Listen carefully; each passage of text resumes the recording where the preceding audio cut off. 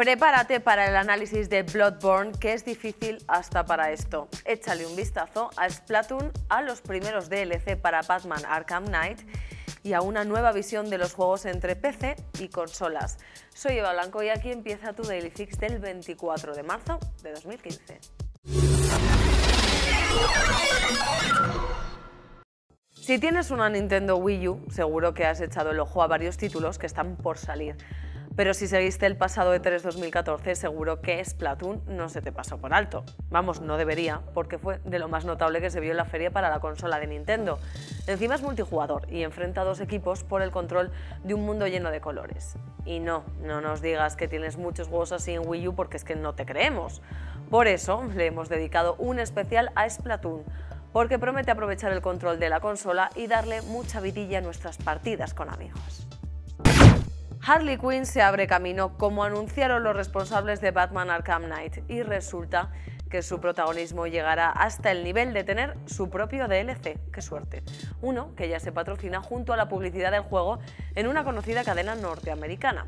Pues sí, será uno de esos contenidos extra para quien reserve el juego en Estados Unidos, con la posibilidad de controlar a la secuaz del Joker y la misión de rescatar a Hiedra Venenosa, Poison Ivy, que parece estar en prisión. Vamos, que si tomamos esto como ejemplo, podemos imaginar cómo serán otros DLC para Batman Arkham Knight, porque hay muchos malos que se merecen el mismo tratamiento de la ficción. ¿A que sí? Que me gusta ser mala.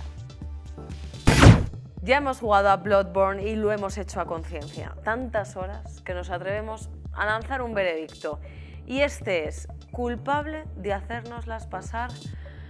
Bueno, ya sabes que no iba a ser fácil eso de recorrer calles mugrientas en busca de bichos feos, sobre todo con los antecedentes de Demon Souls y Dark Souls, porque PS4 ya tiene su exclusivo más esperado en el género de los juegos chungos, a falta de que llegue la nueva versión de Dark Souls 2, claro.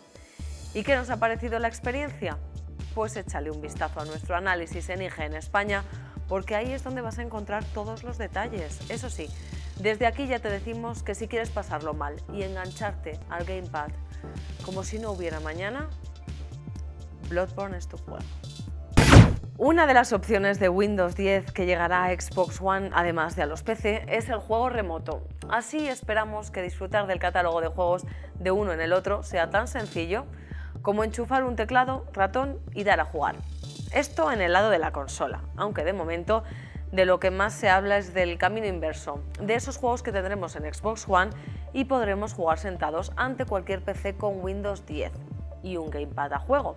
Suena bien, ¿verdad?